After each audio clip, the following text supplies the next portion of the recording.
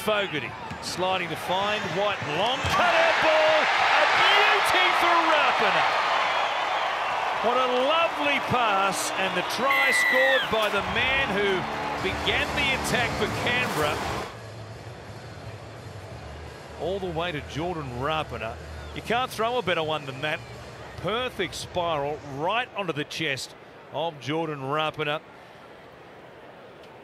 And the veteran opens the scoring for Canberra.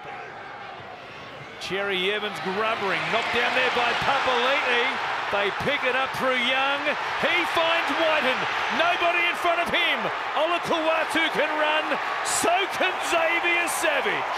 He looms up. He's only in second gear. They go the length of the field on a counter-attacking ball off the ground. For a ride. Here's Fogarty. Puts a pretty good kick in. Wighton is there. Kris taps it backwards.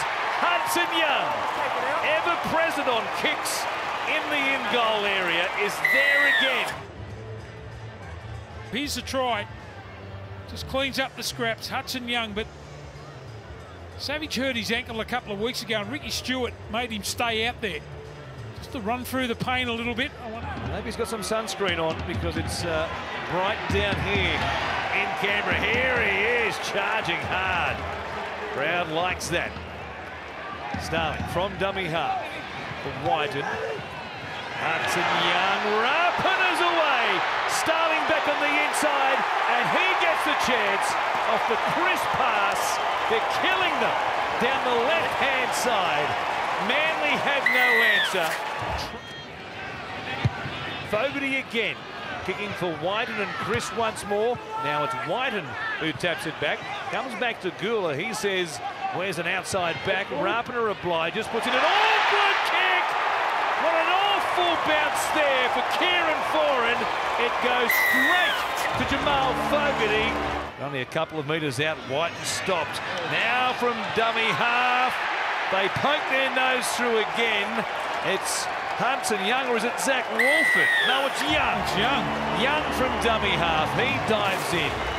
Haven't offered much again in this set. Schuster at the line, comes out the back for him. First man option. Good ball from Parker. And Ethan Bullemor scores for Manly.